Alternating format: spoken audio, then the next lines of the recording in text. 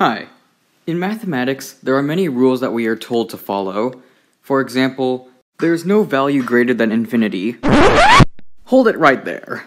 According to famous mathematician George Cantor, there actually are values greater than infinity. Well, other infinities greater than infinity. Ah, I can explain. First off, we need to understand natural numbers versus real numbers.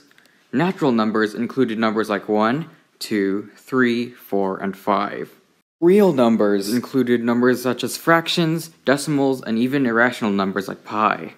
George Cantor found that taking a group of real numbers always had more numbers than a group of natural numbers did. Despite natural numbers and real numbers being infinitely large, real numbers had more numbers within them than natural numbers did.